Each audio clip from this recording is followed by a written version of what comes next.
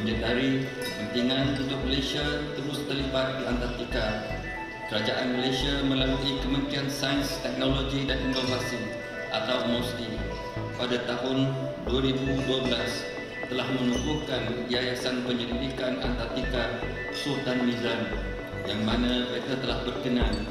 sebagai penaung yayasan pada majlis kelancaran yayasan ini yang telah peta sempurnakan di Kuala Terengganu pada 19 Julai 2012. Pada tahun 2020, YPASM telah diletakkan di bawah kawal sedia Kementerian Alam Sekitar